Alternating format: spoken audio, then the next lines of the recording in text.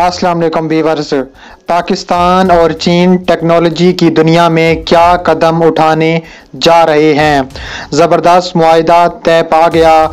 दुश्मन ममालिक में तशवीश की लहर दौड़ गई। दूसरी जानब, अफ़गान सदर अशरफ गनी ने वज़ी अजम इमरान खान से टेलीफोनिक गुफ्तु में दौरे पाकिस्तान की दावत कबूल कर ली। अहम तरीन ऐलान कर दिया गया। इन दो खुशखबरियों के बाद भारत की चीखें आसमानों तक पहुँचने लगी। आज की वीडियो में इसी टॉपिक पर बात करेंगे। वीडियो शुरू करने से पहले आपसे गुजारिश है कि हमारी वीडियो को लाइक कर दें, चैनल को सब्सक्राइब कर दें और बेल आइकन पर क्लिक कर दें। पाकिस्तानी खला नूरदों को खला में भेजने की राह हमवार हो गई है।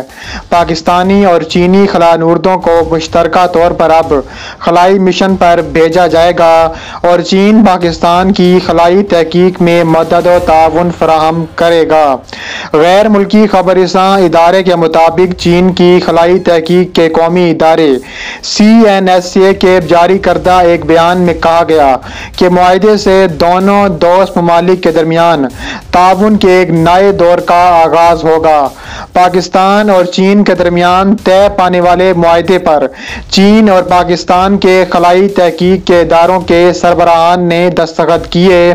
माहे के मुताबिक दोनों ममालिक मिलकर साइंसी और तकनीकी तरक्की के तजर्बात करेंगे और खलाबाजों की तरबियत के साथ खला नूरदों और खलाई मशीन्स को खला में भेजने के सिलसिले में मुश्तर तौर पर ताउन करेंगे।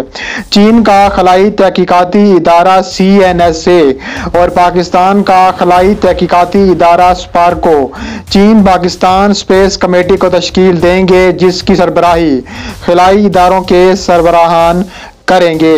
अब वीडियो के दूसरे टॉपिक में हम बात करने वाले हैं अफगान सदर। अशरफ गनी ने वज़ीर आज़म इमरान खान से टेलीफोनिक गुफ्तगु में दौरे पाकिस्तान की दावत कबूल कर ली।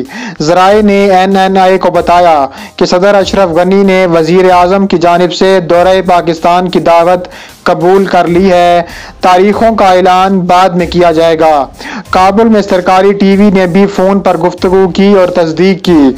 अफगान टीवी के मुताबिक सदर गनी ने पाकिस्तान के दौरे की दावत कबूल कर ली। याद रहे कि सदर अशरफ गनी ने इसी हफ़्ते काबुल में जिरगा से खिताब करते हुए पाकिस्तान के साथ ताल्लुक बेहतर बनाने का वादा किया था। अफगान सदर ने कहा था कि अफ़गानिस्तान में अमन से दोनों ममालिक के दरमियान इकतदी ताल्लुक के रास्ते खुल जाएँगे।